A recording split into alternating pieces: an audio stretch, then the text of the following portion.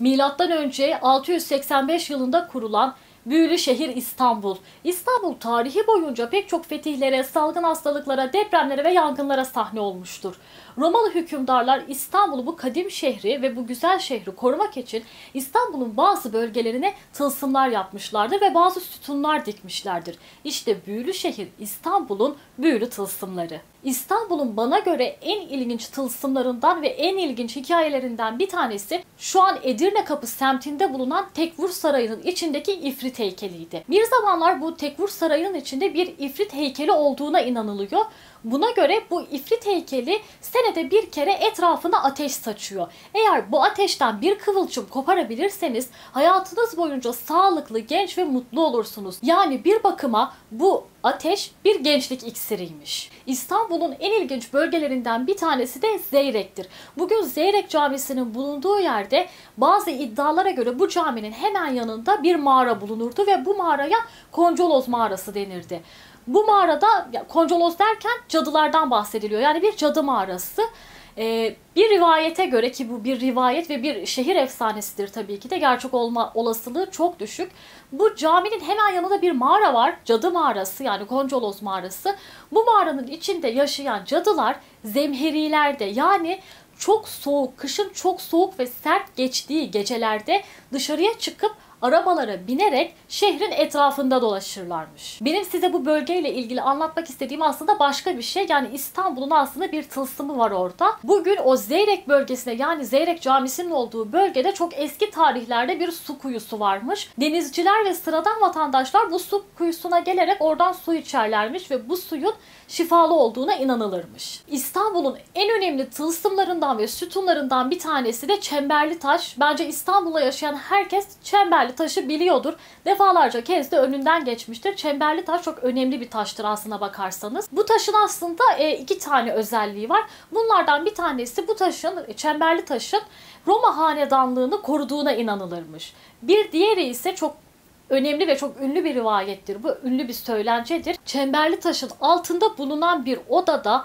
Hazreti Nuh'un asasının, Hazreti İsa'nın e, çarmıha gerildiğinde o çarmıhın parçalarının, Hazreti İsa'nın yine tırnaklarını, Hazreti Süleyman'ın yerik olduğu şandamının çemberli taşın altında olduğuna dair bir rivayet ve bir inanış vardır. Çemberli taş aslında başına gelmeyen kalmamış bir sütundur. Çemberli taş aslında Roma'daki Apollon tapınağından getirilmiştir.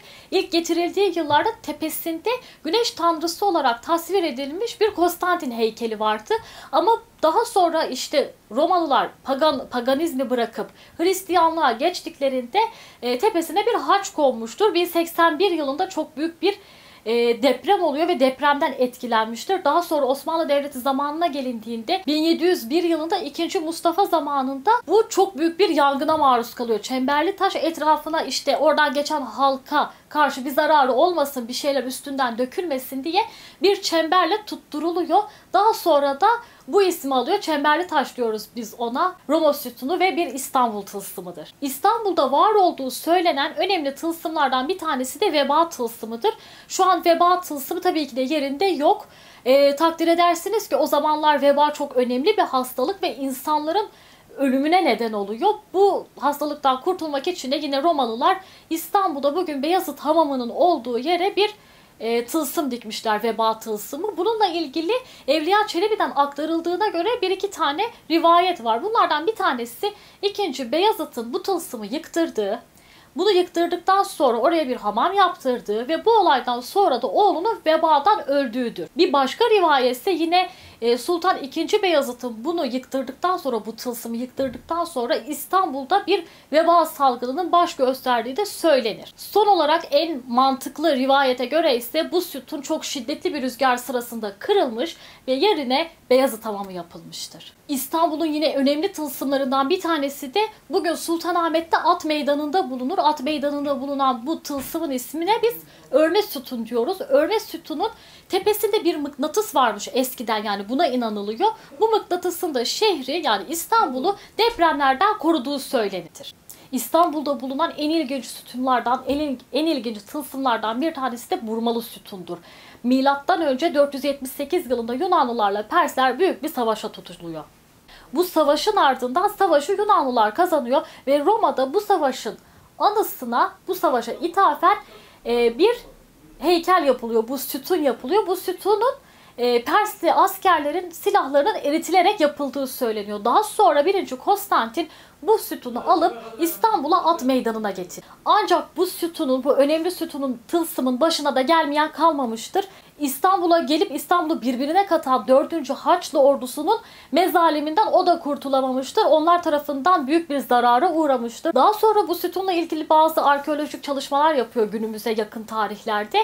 E, bu sütundan Bozdoğan kemerine doğru bir su yolu olduğunu ve zamanında bu sütunun bir çeşme olarak kullanıldığı anlaşılıyor. E, bu sütunun en tepesinde 3 e, tane yılan başı. Şu an gittiğiniz zaman tepesi yok zaten kırılmış. Bu sütunun en tepesinde yılan başları olduğu söyleniyor. Bu yılan başlarından bir tanesi arkeoloji müzesinde sergileniyormuş. Bir rivayete göre bu yılan başlarının şehre uğursuzluk getirdiğine inanmışlar ve insanlar gelip geçerken bu yılan başlarını taşlayıp kırmışlar. İnanılışa göre bu tılsımın görevi de İstanbul'u işte haşeratlardan, yılanlardan, farelerden ve böceklerden korumakmış. Bugün sizlere bu videoda İstanbul'un bazı sütunları benim için bana ilginç gelen tabii ki de pek çok var. Bana ilginç gelenleri sizlerle paylaşmak istedim. Çünkü İstanbul'da buna benzer çok hikaye var, çok sütun var, çok tılsım var. Başka bir videomuzda onlardan bahsederiz. Kanalıma abone olmayı unutmayın. Şimdiden teşekkürler.